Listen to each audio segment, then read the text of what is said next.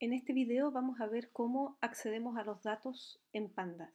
Es un poquito diferente a cómo se hace en NumPy con arreglos y es importante que entiendan la diferencia entre acceso a filas y columnas.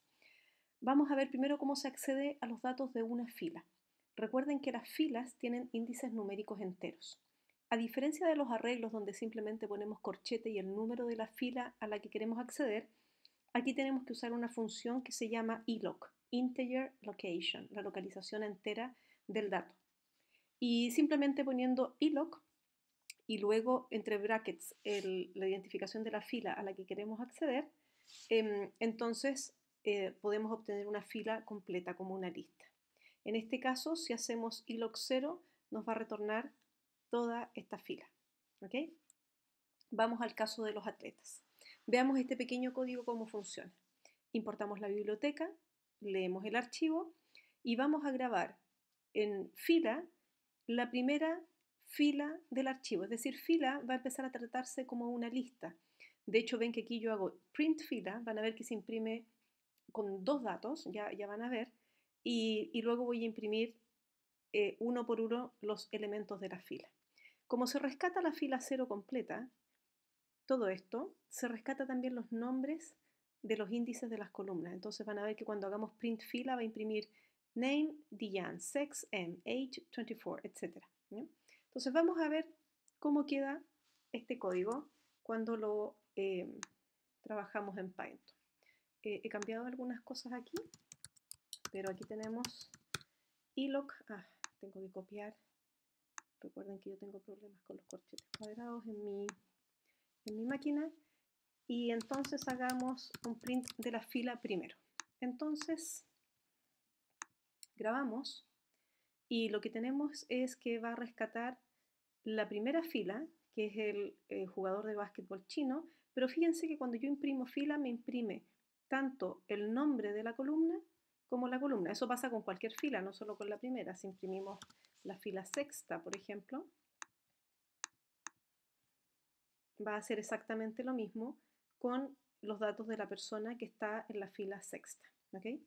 Pero si yo en cambio recorro la lista de la manera en que lo hemos, perdón, le puse fila, de la manera en que lo hemos hecho siempre, for in fila, van a ver que va a imprimir solo el contenido. ¿Por qué no me deja ejecutar?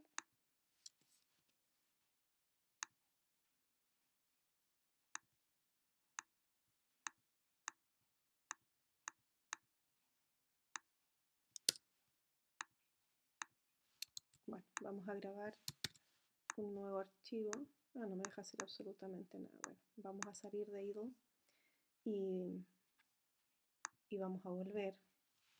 Lamento esta tardanza, pero nuestro idle se rehúsa a trabajar. Vamos allá de nuevo. Y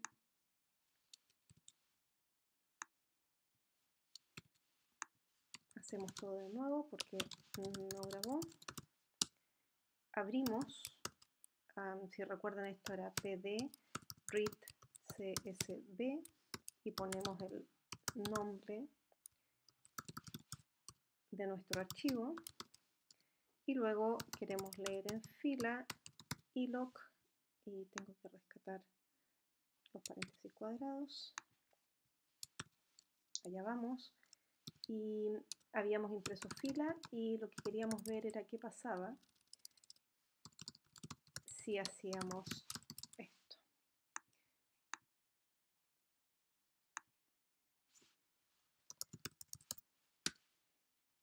Bueno, voy a tener que copiar esto.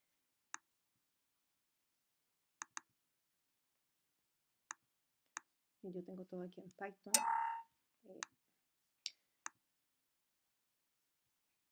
Así es que vamos a ir a Python y vamos a abrir Pandas 2. Perdón por esta demora. Ya, ahí vamos. Y entonces ahora sí debiéramos poder ver el contenido. Si se fijan, cuando yo pido que imprima solo el contenido numérico, datos de la fila, de la primera fila que he rescatado, imprime efectivamente solo los datos y los nombres de las columnas. Pero si le pido que imprima la fila como una estructura de datos que quedó guardada, pues como estructura de datos un poco más compleja, quedó guardado no solo los datos del jugador, sino que también los eh, nombres de las columnas. Ahí está la, primera impresión del for y luego la segunda impresión. Muy bien, sigamos. Mira que perdimos bastante tiempo con IDU. Así es que eso respecto de rescatar eh, datos por fila.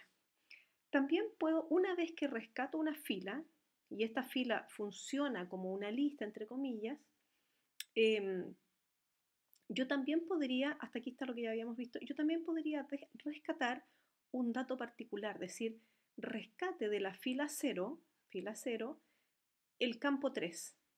0, 1, 2, 3. Y debiera rescatar la edad. ¿Ok?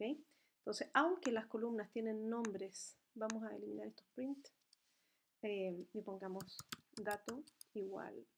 Aunque las columnas tienen nombres, una vez que yo rescato esto, sí puedo acceder a las columnas en formato em, numérico. Claro, aquí no va a imprimir nada porque no puse que imprimiera nada. Imprima dato. Y entonces debiera imprimir aquí la edad del jugador, que es en la fila que estamos recatando, que es la 0, el campo 3. 0, 1, 2, 3, 24, 24. Eso también se puede hacer.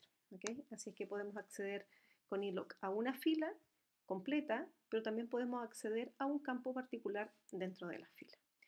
¿Cómo se accede a una columna? Usando los nombres, por lo tanto no es necesario iLock, sino que inmediatamente vamos, este punto está de más, está malo este punto, no hay punto, directamente data frame y entre corchetes el nombre de la columna a la que queremos acceder. Eh, déjenme ver, vamos acá, entonces vamos a poner columna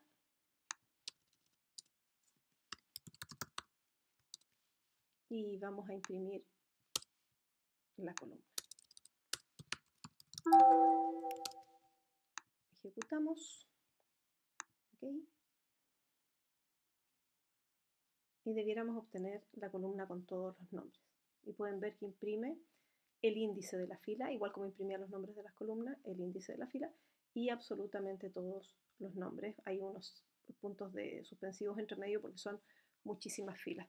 Ojo que no va a punto. Hay un error aquí en el, en el PowerPoint. No va punto cuando estamos accediendo a las columnas. El punto es solo cuando luego del data frame quiero eh, poner el nombre de alguna función que hace algo.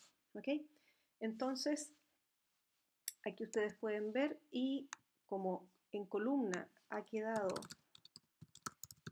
eh, toda la columna y son 270 y tantas mil columnas, si yo quiero solo imprimir las primeras 10, yo puedo hacer eh, el clásico recorrido, porque columna ahora es como una especie de lista, puedo hacer el clásico recorrido con una lista y pedir que se imprima el contenido de los primeros 10 elementos de la columna. Y eso debiera pasar ahora. Una vez que se carga la columna, imprime los 2, 4, 6, 8, 10 primeros elementos. Así es que así se accede a una columna. ¿Qué pasa si quiero acceder a una matriz? Tengo una gran matriz, que es un gran data frame, que es todo esto, pero solo me interesan dos columnas, eh, qué sé yo, nombre y el equipo al que pertenece la persona. Todo el resto en realidad no me interesa.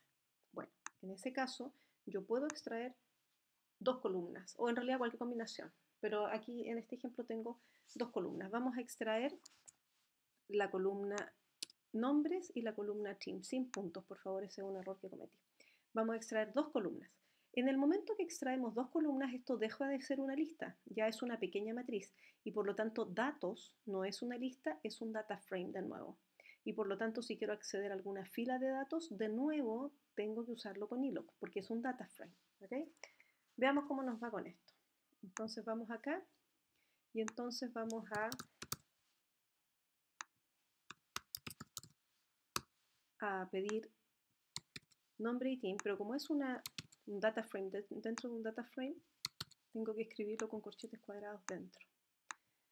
Pongo los corchetes cuadrados y em, Imprimamos datos para que vean que se imprimen ambas columnas.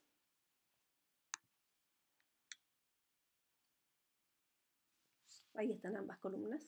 Si quiero imprimir una fila particular, tengo que poner iLock porque, em,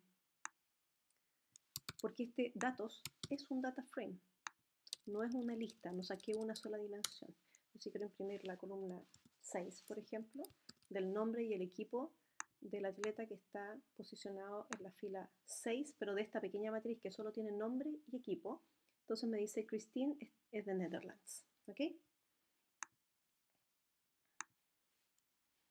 Entonces, ya vimos cómo acceder a una fila con iLock, a una columna con el nombre de la columna y, a una matriz y a una matriz con los nombres de eh, ambas columnas o ambas filas, etc.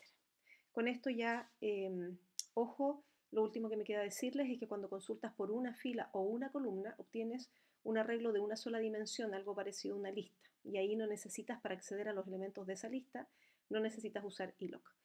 Pero si consultas por varias filas o columnas, obtienes otra matriz, otro data frame, otro data frame y debes usar iLock.